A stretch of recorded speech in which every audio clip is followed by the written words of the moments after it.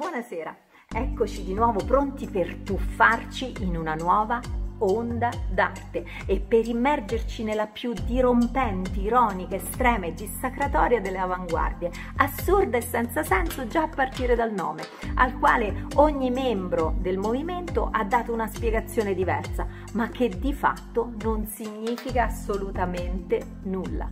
Dada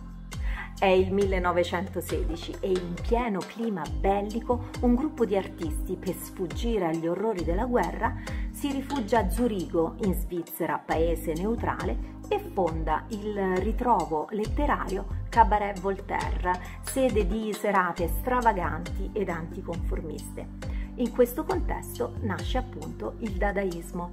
il eh, movimento che è nato appunto in un clima di profondo sconforto trova rifugio nell'ironia, nel paradosso, nella provocazione, nella dissacrazione. Quindi contro ogni regola eh, del buonsenso, del, ehm, del, qualunque valore estetico, etico e morale, lo strumento preferito è eh, lo scandalo. E tra gli artisti dadaisti quello più scandaloso e dissacratorio è sicuramente Marcel Duchamp, il quale dissacra la povera Gioconda non solo mettendo su una sua immagine baffi e pizzetto e eh, dicendo in modo molto insolente ho cercato di fare dei baffi davvero artistici, ma dandogli un titolo formato da una serie di lettere dal significato nascosto, ma non troppo, in modo veramente eh, spudorato. Ma la grande novità scandalosa di Duchamp è l'invenzione geniale del ready made. Ehm, con, con, il quale eh, si, si, apre eh, un nuovo modo di fare arte. Eh, prendendo un oggetto, decontestualizzandolo, cioè togliendolo dal suo contesto abituale, quello per cui è stato proprio creato, mettendolo su un piedistallo, dandogli un titolo, l'oggetto diventa magicamente un'opera d'arte.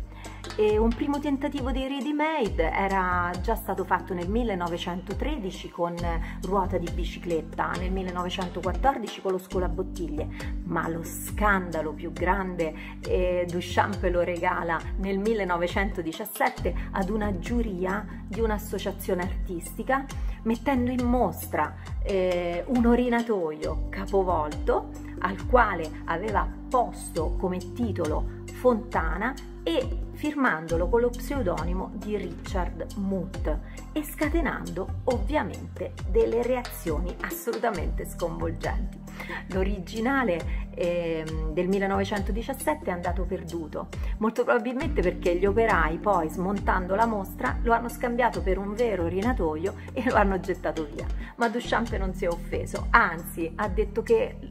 l'opera d'arte nel momento in cui scende dal piedistallo ritorna ad essere un oggetto comune e quindi può essere tranquillamente gettata via. Con i ready made, quindi l'importante è il processo di ideazione, creare una nuova idea dell'oggetto. Dal momento che ora l'arte non crea più la realtà, è la realtà che diventa arte. Quindi possiamo dire che tra le avanguardie storiche il dadaismo o dada come preferivano chiamarlo i membri che, lo, che ne, ne, facevano parte, è um, quello che ha avuto la vita più breve, però è anche quello che ha avuto il merito di aprire la strada ad altre esperienze artistiche, come per esempio il surrealismo, ma un momento, dentro l'onirico mondo dell'inconscio ci tufferemo sognando nella prossima onda d'arte. Grazie e alla prossima!